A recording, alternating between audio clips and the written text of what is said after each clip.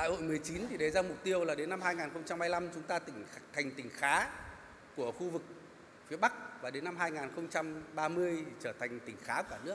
Chúng ta hiện nay đang là một cái tỉnh tỉnh còn khó khăn, đang phát triển trên một cái nền tảng, trên một cái cơ cấu kinh tế tương đối là đều, có tính ổn định nhưng nó không có tính đột phá.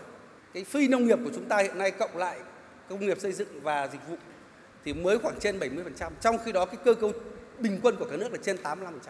Với cái cơ cấu kinh tế hiện tại khó có thể đạt được mục tiêu tăng trưởng nhanh, cần phải có cái sự thay đổi. Phấn đấu đến năm 2030 công nghiệp của chúng ta sẽ khoảng 42%. Dịch vụ khoảng 38% và nông nghiệp còn khoảng 13 đến 14%.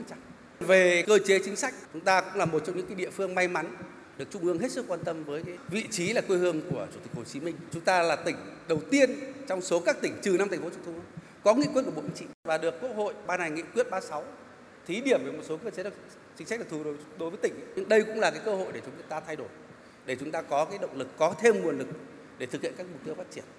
Cái quan điểm là phải phát triển có trọng tâm, trọng điểm, có ưu tiên. Đấy, chúng ta sẽ chọn ra hai khu vực động lực đó là thành phố Vinh mở rộng và khu, khu, khu kinh tế Đông Nam mở rộng để thành động lực.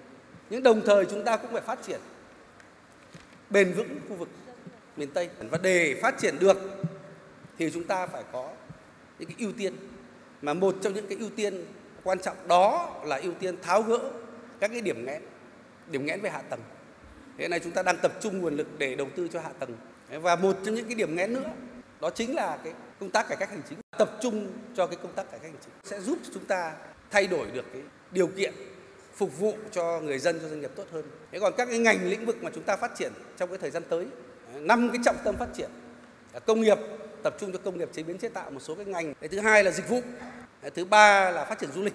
Cái thứ tư đó là nông nghiệp thì chúng ta sẽ tập trung cho các cái sản phẩm nông nghiệp chủ lực và nông nghiệp ứng dụng công nghệ cao. Cái thứ năm là chúng ta sẽ tập trung cho phát triển kinh tế biển.